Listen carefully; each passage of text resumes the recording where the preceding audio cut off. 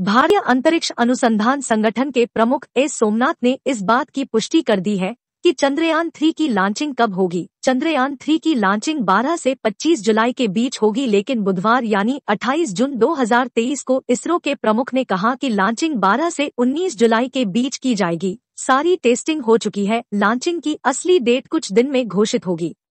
प्रमुख ने जानकारी दी थी कि पिछली बार विक्रम लैंडर के साथ जो हुआ था वो इस बार नहीं होगा। क्योंकि इस बार चंद्रयान थ्री की लैंडर की लैंडिंग में बदलाव किया गया है। चंद्रयान थ्री की लैंडिंग तकनीक को नए तरीके से बनाया गया है।